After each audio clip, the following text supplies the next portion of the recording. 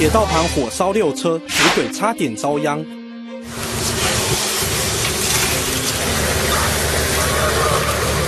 苗栗建工地下道旁这处杂草堆，昨天下午发生火警。消防员到场后，火势已经从杂草蔓延到这台黑色轿车，一度差点波及旁边的高压电杆跟台铁铁轨。消防员不敢大意，赶紧洒水灌救。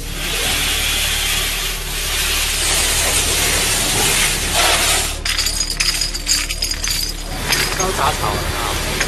最后，这台十多年轿车烧到只剩骨架，附近五台车前灯跟保险杆因高温融化变形。我们这是公司车啊。消防员表示，因杂草堆到处都有火，不清楚确切起火点，起火原因有待调查。动新闻苗栗报道。